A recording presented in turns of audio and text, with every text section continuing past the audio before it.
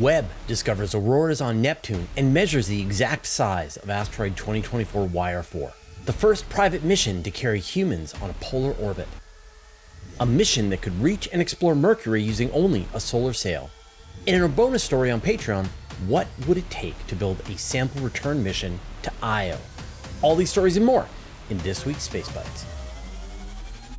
Neptune is the farthest planet in the solar system. Don't send me emails about Pluto. And we've only visited it one time up close with Voyager 2 back in 1989. We've never gone back. Now, we can do the next best thing, which is use the most powerful telescope ever made to capture images of Neptune and bring Neptune to us. And so we've got some new images that have come from James Webb of Neptune. What makes this image really cool and scientifically useful is that Webb detected auroras on Neptune for the first time. Now, we know that there are auroras here on Earth. They've been seen on Jupiter, on Saturn, on Uranus, and they're caused when the particles coming from the sun, from the solar wind, from coronal mass ejections and flares, interact with the magnetic field around the planet. We know that Neptune has a magnetic field, but we've never seen these auroras before. And the hint is the presence of trihydrogen cation. This contains three hydrogen atoms and two electrons, and it's a strong indicator of aurora activity on a planet. And so, while we wait for the new mission to Neptune that will come someday, uh, we can see these cool images from Webb. Now we've got a lot of more information on universetoday.com, story written by Mark Thompson. And then another piece of James Webb news, and that is that Webb was finally called in to examine asteroid 2024 YR4. And if you don't remember YR4, this was the asteroid that had a non-zero chance of hitting Earth in 2032, which has now been downgraded to essentially a zero chance of hitting Earth with a slight chance of hitting the moon. And as soon as it was discovered and as soon as its dangerous trajectory was mapped out, then people booked time on Webb. But it shouldn't be surprising that the risk was downgraded. And yet, this is the smallest asteroid that Webb has ever looked at, and it was able to measure very accurately the size. It's 60 meters across, so imagine a building tumbling in space. And in addition, Webb was also able to measure the spin rate of the asteroid and even get a sense of its surface characteristics. It doesn't have a fine sand on its surface. It probably has fist-sized rocks or larger across its surface. And yet it doesn't share any characteristics with any other known asteroids in the area. And so it was actually very useful that Webb was able to do some science on this asteroid. And again, we've got a story on Universe Today by Mark Thompson. The first private polar mission. So this one snuck up on me. This is another private mission using a SpaceX Dragon capsule. It launched earlier this week and it went into a very cool orbit, went into a polar orbit. Now, most of the time when missions launch, they go around the equator and that's because you can get the least amount of fuel, you can launch the most amount of payload into this equatorial orbit. But there's a lot of interesting science that can be done if you take a polar orbit, of course, looking at the poles of the Earth. The previous record holder was the Soviet Vostok 6 mission, which launched at 65 degrees. And so this is 90 degrees over both of the poles. On board, you've got the cryptocurrency billionaire Chun Wang and three crewmates, Norwegian commander Jannik Mikkelsen, German pilot Rebecca Rogge, and Australian medical officer and mission specialist Eric Phillips. And so it was hard to kind of categorize this. It's the first polar mission carrying humans, but also the first private polar mission carrying humans. So it's both. Now, they only launched for a handful of days, and by the time you're watching this video, they will have already landed or they're about to land. But they got a lot of science done while they were in space. They performed 22 experiments, and two that I thought were really cool. One was to grow mushrooms in space. And then the second one is to perform x-rays of the human body while in space. And these are two things that have not been done before. And again, another story written by Mark Thompson on Universe Today. A mission that could reach Mercury on solar sails alone. Mercury is the most difficult planet to reach in the solar system, which is surprising because I'm sure you imagine, why don't you just fall down into the sun? But the problem is that you've got to cancel the Earth's orbital velocity. It's actually about the same difficulty to get out of the solar system as it is to get down to Mercury. And so missions that try to get all the way down into the inner solar system, they have to either use a lot of propellant or they do a bunch of gravitational assist. And this is what we saw with Bepi Colombo. This is what we saw with the Parker Solar Probe. You use these planets, you use their gravity to slow yourself down until you're able to have the right trajectory and the right speed. But at the recent Lunar and Planetary Science Conference, which you're going to hear me talk about a lot in this and a lot of more future videos, there was a really cool proposal, which was that you could use a solar sail mission to get to Mercury. Now you might be going like, how can you use a solar sail to get closer to the sun? Shouldn't it be getting pushed away from the sun? But you have to think about orbital mechanics. When you have a spacecraft that is in orbit around the sun, then if you want to raise its orbit, you want to get farther away from the sun, then you increase your velocity in the direction that you're traveling. And then that raises your orbit. And if you want to lower your orbit, then you decrease your velocity in the direction that you're traveling and that lowers your orbit. And so if you launch a solar sail, it's going to be in orbit around the sun. And then it just depends on the angle. If you set your solar sail at a diagonal, then the light pressure from the sun will bounce off and speed up the velocity of the solar sail, which will cause it to raise its orbit, cause it to move farther away from the sun. But if you go 180 degrees from that, then the photons coming from the sun will decrease the velocity of the solar sail and cause it to spiral inward towards the sun. Ironically, the closer you get to the sun, the more light pressure you experience, then the more force you're applying. And so the faster you can decrease your altitude. And eventually you could spiral right into the sun. But what if you wanted to get to Mercury? And so this cool mission concept has a spacecraft in the middle of this giant solar sail, and that's its main propulsion system. And this would be a Discovery class mission and it would only weigh about 250 to 300 kilograms. It would launch into Earth orbit and then would use this solar sail to slowly lower its orbit until it finally got into orbit around Mercury. It would take about seven years, but if they had a much larger solar sail, they could drop that time down to about four years. And I just love this idea of using solar sails as a way to move around in the solar system because it gives you options. Like once you're at Mercury, you could change your orbit. You could leave Mercury and go to Venus if you wanted to. And so I think this is a really cool idea. And In fact, I've reached out, I'm gonna be doing an interview next week with the people behind this concept. And we've got a really interesting story on Universe Today written by David Dickinson.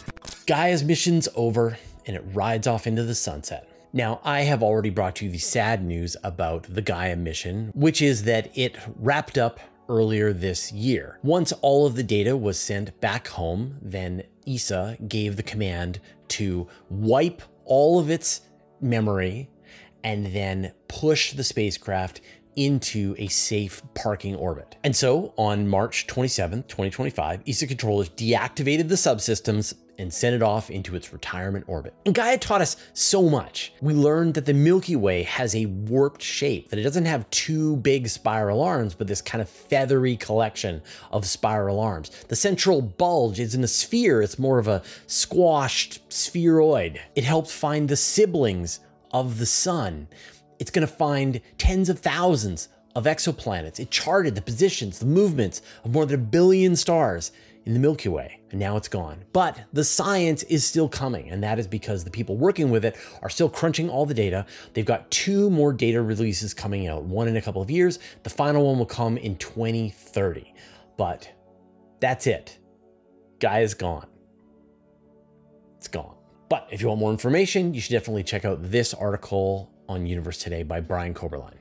Every week, we do a vote on our channel where we ask you to tell us what you thought was the best space news story of the week. And the winner this week was long chain hydrocarbons found on Mars. So thank you everybody who voted in the poll. Now we will post the new poll into the post tab here on YouTube within about 24 hours of when we release this video. So if you have the time or if you're just scrolling on YouTube and you see the vote, let us know what you think. Now, the best chance to see this is to subscribe to the channel, click on the notifications bell, and then just obey the algorithm in all ways. An electromagnetic moon dust shield. Lunar regolith is one of the biggest hazards of lunar exploration. This is the glass-like powdered rock that is smashed up on the surface of the moon. And this stuff gets everywhere. During the Apollo mission, the astronauts had runny noses, they were coughing, the stuff was getting into their machinery, their equipment, into their spacesuits. And over long periods of time, it will probably cause health issues. It'll get into the machinery, gum up the works, break things. So NASA needs a way to stay on top of this and minimize its interaction. And so there's a couple of things that they've been working on. One is different kinds of material that may repel or attract this uh, regolith powder. But the other is an electromagnetic shield. And so one thing that's important to understand is that this regolith is not just greedy and gets into everything. It's actually electrostatically charged, which means that it will be attracted to various things that have the negative charge. And so you actually get this dust kicking up during the course of a lunar month. And so it'll actually just lift up, move, and then adhere to various surfaces on your spacecraft. And of course, then it can start to get into your astronaut lungs, get into your equipment, and block solar panels over time. And so something that I'm sure many of you have been wondering, like, why don't they have some way to repel it? And NASA has been working on this and they tested out the new system on the Blue Ghost 1 lander and it worked. So you can see here, there's a couple of different types of material, one that doesn't have the electromagnetic repellent and then one that does. And you can see how there's a lot less dust. And of course, once this technology has been tested out on the moon, you can imagine it playing a role for future missions to Mars, making sure that the Martian dust, which is very similar, so it doesn't collect on the solar panels, doesn't get on their camera systems, and so on. So this problem might be starting to get solved. Now we've got a really cool story about this on Universe Today by Evan Gough. Planetary disks are small. About 4.5 billion years ago, the solar system formed out of a giant cloud of gas and dust. And as the material came together, you got the sun forming at the center, and then the whole cloud spun up, and you got this accretion disk, a protoplanetary disk around the star where the planets started to form. And one of the most amazing advances in the last decade or so is our ability to directly image these protoplanetary disks using the Atacama Large Millimeter Array. This is a radio telescope system that's in Chile. We've seen the different shapes and structures that these protoplanetary disks take. And so a team of researchers wanted to know how are they in general? And so they analyzed all of the protoplanetary disks they could find in one star forming region. And they ended up finding 73 separate disks. And then they were able to compare them all. So they're able to see their sizes, their consistency, which ones had planets forming inside of them.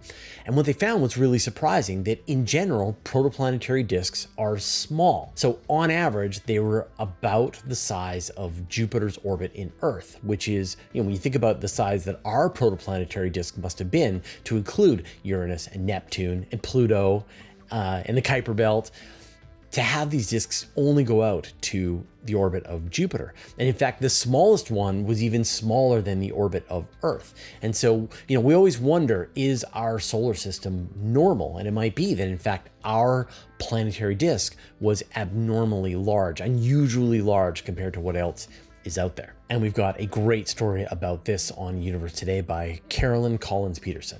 And finally, let's get into some cool images. First up, this is an Einstein ring, and this is actually a collaboration between the Hubble Space Telescope and James Webb. And what you're looking at is a giant elliptical galaxy in the center, which is relatively close, part of a galaxy cluster, and then it is acting as a natural lens for a spiral galaxy that is billions of light years away, farther behind it. And because the gravity of the galaxy is acting like a lens, the spiral galaxy is twisted into this perfect Einstein lens around the central galaxy. It's a beautiful picture. And we've got a story about this by Brian Koberlein on Universe Today. And then we've got First Light from NASA's SPHEREx mission.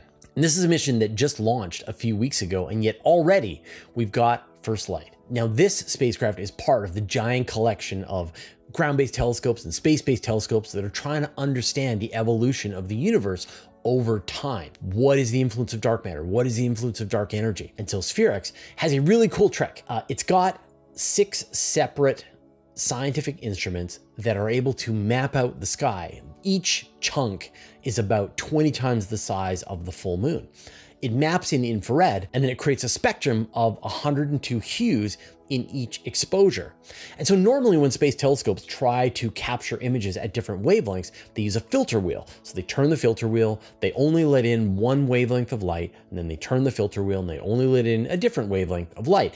And then that's what the astronomers use to study the region. But what SPHEREx does is it uses this rainbow. So it actually is capturing all the different wavelengths at the same time. So which wavelengths are blocked change from top to bottom. And so far, everything has been going great. Spacecraft has tested out just fine, and now it's about to begin its survey operations. And we've got a story about this on Universe Today from Mark Thompson. Now, you're watching this week's Space Bites, but I am writing my weekly Guide to Space newsletter, which covers many, many more stories that we're not going to talk about here on YouTube. For example, Earth bacteria could survive on the moon for decades. And this is a really interesting question that we want to know. How hardy are Earth bacteria and are the conditions on the moon able to kill them? And the answer is not quickly. So we've got a story about that from Laurence Tognetti. Subsurface habitats on the moon could be grown using mushrooms and inflatable robots. We're always looking for new ways to build habitats on the moon and Mars out of local materials. So what about mushrooms?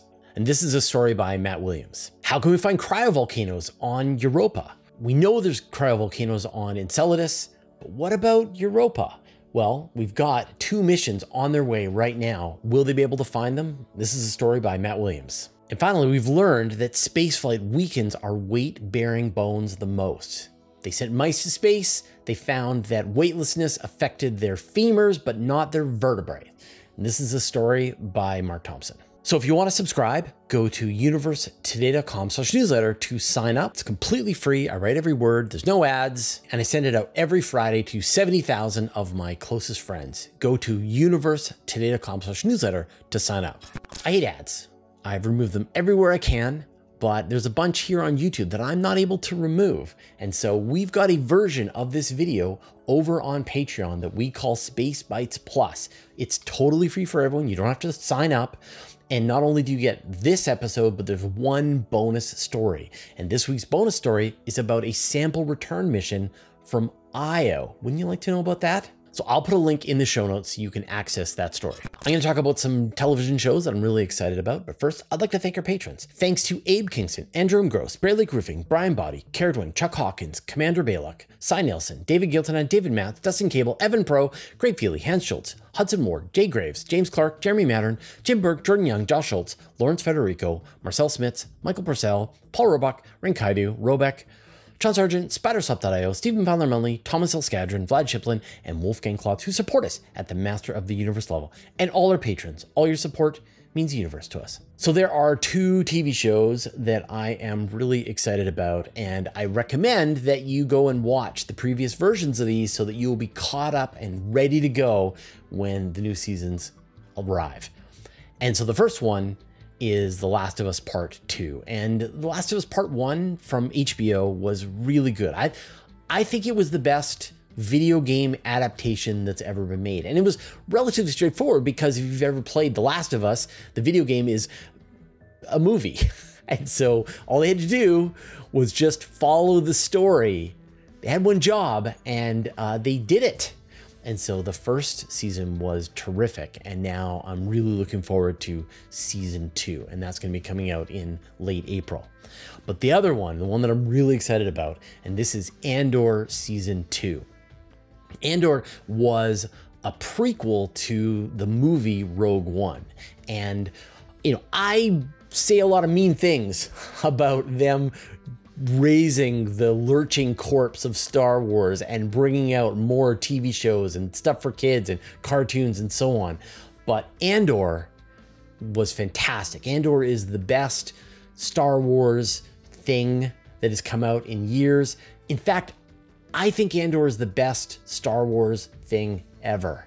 So, uh, you know, based on that, I'm really excited to see Andor. That's going to be coming out on Disney. So, if you want two shows, you got to catch up and you can join in the zeitgeist as we're all enjoying Andor season two and Last of Us Season 2. All right, we'll see you next week.